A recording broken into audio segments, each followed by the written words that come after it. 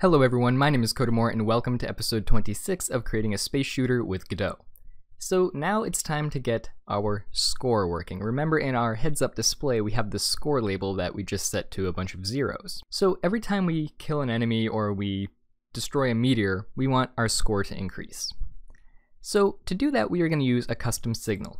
So we'll go into our signals script where we have the signal for when a player when the, for when the life of a player changes. And we'll create another signal which we're going to say on score increment. And this will take in the amount to increase the score by. And we're actually going to go into our heads up display here. We'll go into the script and we'll create a variable to hold the player's score. So we'll create a variable score, that'll be an integer, and we'll simply set that equal to zero to begin with. Next, we have to actually listen for whenever something wants to increment the player's score to that signal we just made.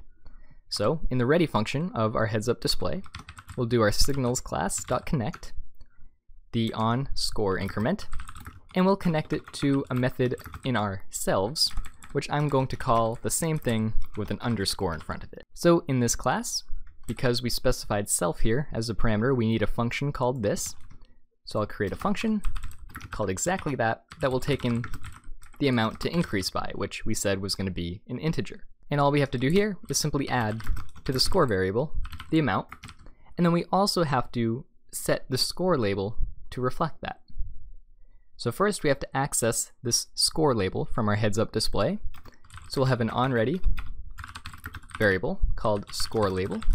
That'll equal to our dollar sign score node, this right here.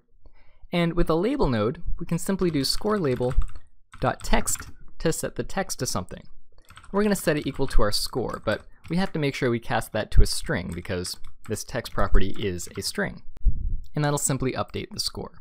So now if we play our game, nothing's going to happen because nothing is actually emitting this on score increment signal. So I'm actually just going to have every enemy that gets killed increment the score by one. You could do it per enemy if you'd like, but I'm just going to go into my enemy.gd script, and whenever an enemy gets damaged and its health falls below zero, I'm going to simply do signals dot emit signal the on score increment by 1. We'll add 1 to the player's score. And I'm going to do the same thing, so I'm going to copy it for when the player destroys a meteor. So I'll go into my meteor script, we'll go into the damage function, and whenever its life gets less than or equal to 0, we'll increment the score by, I don't know, we'll increment it by 2 whenever a meteor gets destroyed. So now let's see if this is working. So there I have a spaceship, and if I kill the spaceship, as you can see my score switches to the number 1. And if we go ahead and try to kill this guy here, our score switches to 2, and it all works fine. When we destroy that meteor, it increments our score by 2, and that is how we can get our simple score system working.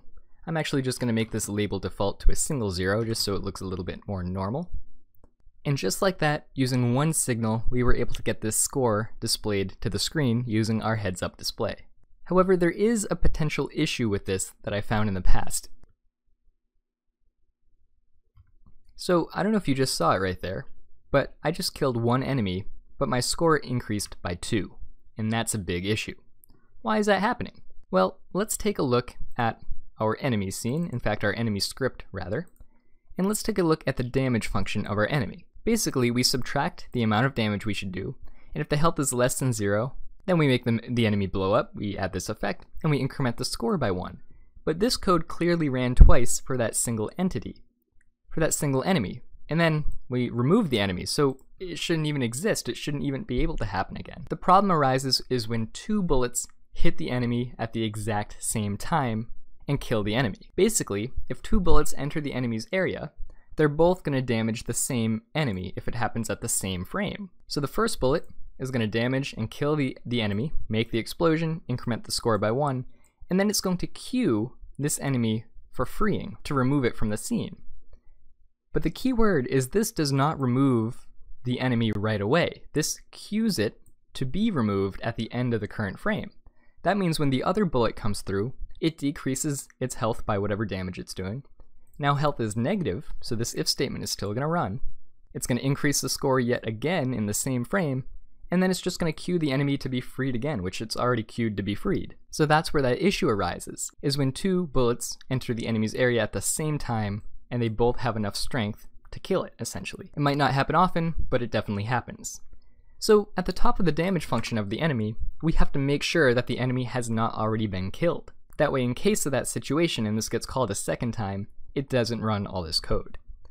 So we're going to say if health is already less than or equal to zero, simply return from this function. We don't need to do anything, this enemy is already dead. And in fact, we have to do the same thing for the meteor. So I'm going to go into the meteor uh, function here, and in its damage, before anything happens, we have to make sure its life is not already less than or equal to zero. If it is, we have to return from this function and not run any of this code. That way it doesn't increment the player's score by 4 accidentally just for destroying a single meteor.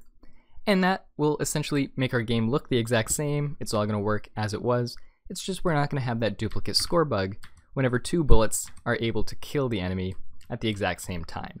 And that problem should never happen again. Thank you all so much for watching, and I'll see you all in the next episode.